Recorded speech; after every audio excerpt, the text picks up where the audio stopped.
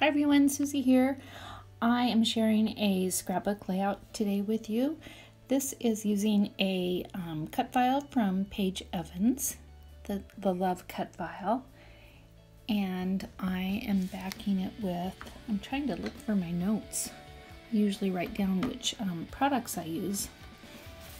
Um, and during the process of this video, I'll just give you a, a heads up. I do so many changes and switching papers out. And um, my first papers that I chose are actually my favorite but I messed up on the background. And so I had to switch out the O background paper.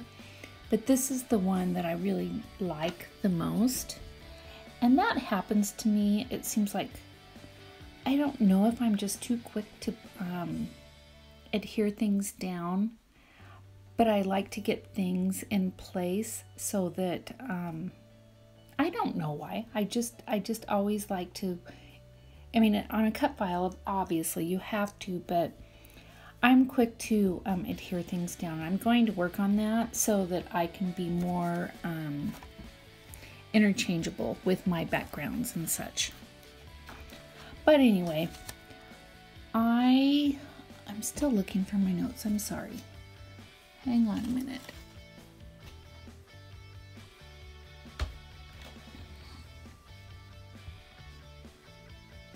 Well, I know the blue and white is American Crafts. And oh, I also switched out my photo. I started out with this photo of Capri and um, Evie, my granddaughters and I end up switching that.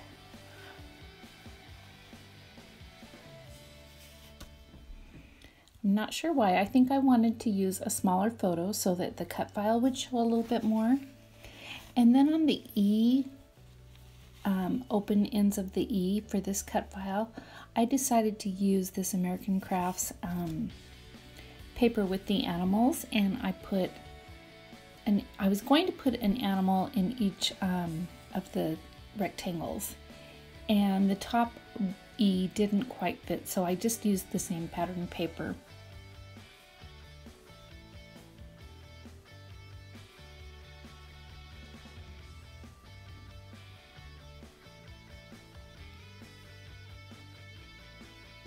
here I'm just kind of adhering the paper, trimming around the edges, and cleaning um, the background up a bit.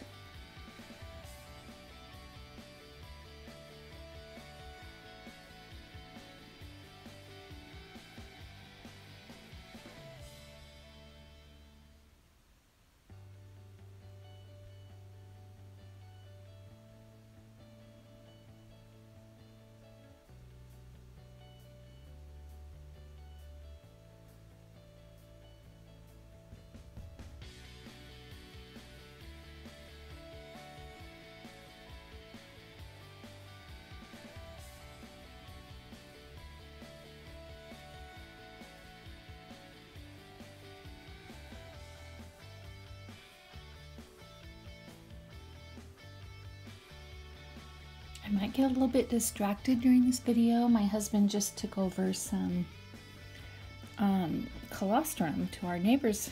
Um, they had a calf and it wasn't drinking from the mama, so he, my husband had some frozen colostrum. So he's over there and I'm anxious to hear how the baby calf is doing because we're just getting ready to get started with calving season here ourselves. So, and and it just started snowing today, and that's predicted for the next two weeks. So that's you know I love the snow, but not ideal for calving. So here you see the um, photo that I switched out. This is an engagement photo of Griffin and Sammy, my son and daughter-in-law. And at this point, I still have that pretty second paper that I like. And I will eventually switch that out.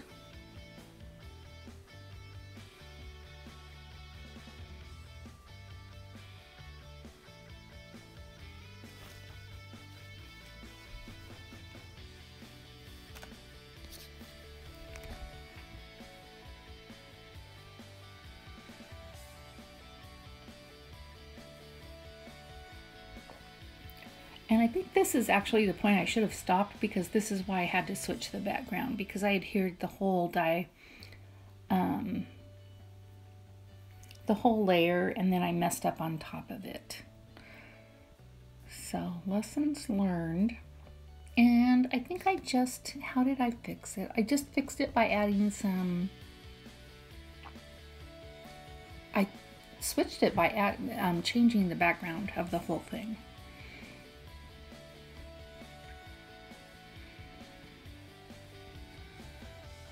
I think it got just a little busy with that floral paper and that bright orange red.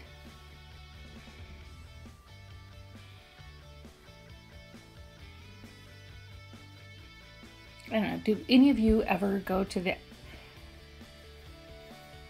levels that I went to to change this layout out? I mean, I, I had the whole background done and then I eventually ended up switching out the entire background, including one of the background, the O background letters. I just, you know, if it's not appealing to my eye, I am not afraid to switch it out. And that's exactly what I did here, including the photo. And I backed this photo with about four layers of tissue paper.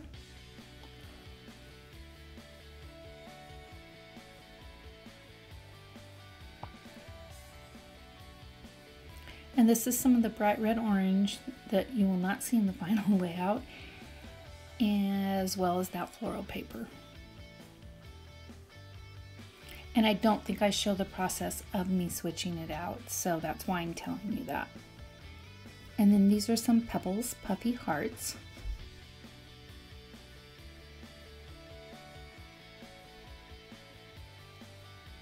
And I do use those on the end layout.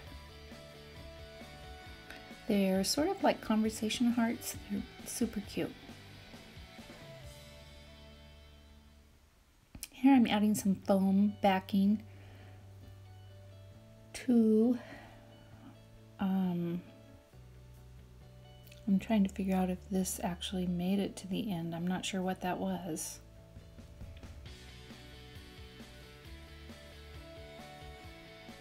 Oh, that flower. Yes, that flower does not end up making it either.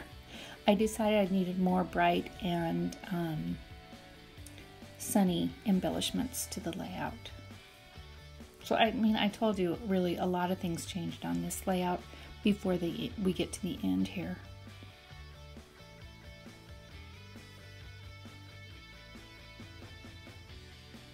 There you see me adjusting the um, tissue paper then I'm backing the photo with.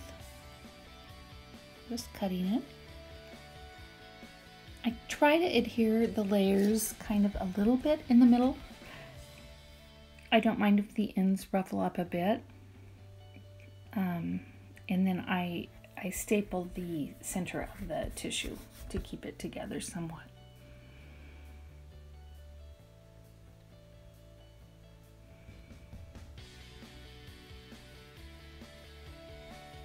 Right there, I still have the old background, so I haven't switched that out yet. I think when I do, it's kind of abruptly and you don't see the process. I apologize for that. And then I do add some um, foam adhesive to the back of the photo to raise it up a little bit, give it some dimension. Using my scrappy glue to adhere it.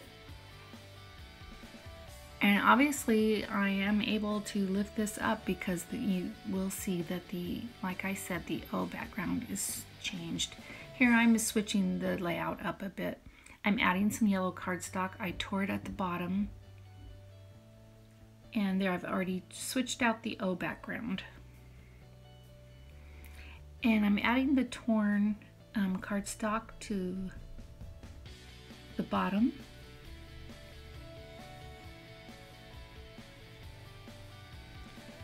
re-adhering the love die cut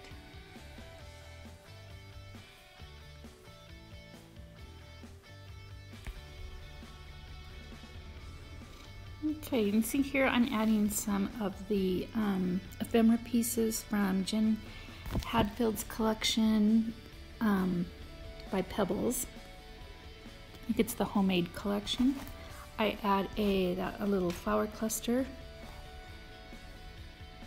and then I'll be making a little cluster on the upper um, right hand side and I use a speech bubble stamp, a Vicki Boutin stamp. It says, let's do this. And then there's also some simple stories um, stickers involved in that upper left hand thing, thing, embellishment cluster. And this is just a cluster, I'm, I'm stapling it together. It's the Simple Stories, that's a little flower vase and a label from Felicity Jane. And there's the speech bubble I was talking about. And then I will be adding um, a puffy heart sticker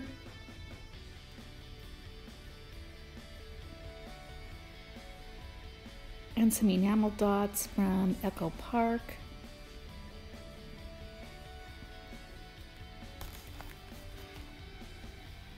And here I just tore the left-hand portion of the um, white paper. It's, it's actually white um, Swiss dot by Bazzill.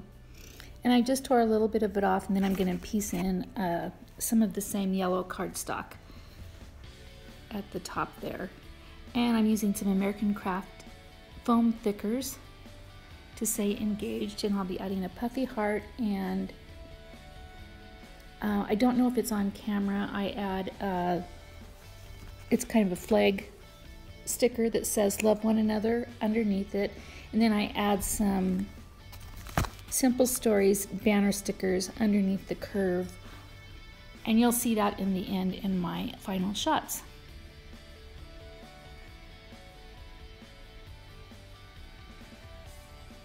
And this is the point where I thought I was done, and then that's when I went back and added the two things I just mentioned the flag sticker and the banner because that just looked a little too blank to me underneath Engaged. And then there is the final project. Thank you so much for watching. I'll be back soon with another video. Bye-bye. Have a good day.